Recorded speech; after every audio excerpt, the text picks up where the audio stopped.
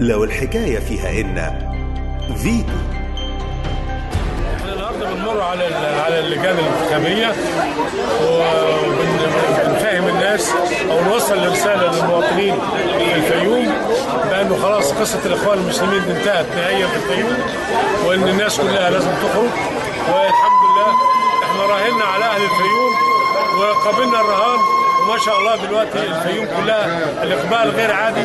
وسيادتك شايف أنت المواطنين الفيوم كلهم خرجوا رجال وسيدات وكلهم بيدوا اصواتهم عايزين نقول لهم إن إن الشرطة وال- والقوات المسلحة والأمن المركزي والمباحث موجود في كل مكان في الفيوم. عشان كده هو ينزل ولا يخاف ويضرب صوته في أمان تام.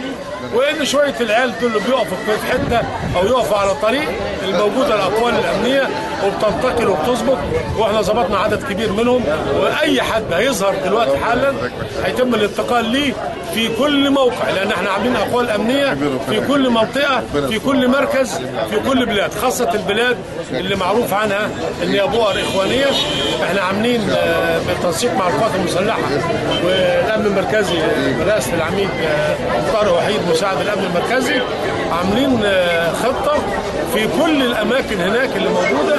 فإن شاء الله المواطن عايزين نقول له لا تخف وانزل اضرب صوتك وإحنا معاك في كل مكان. حصل في المشاركة.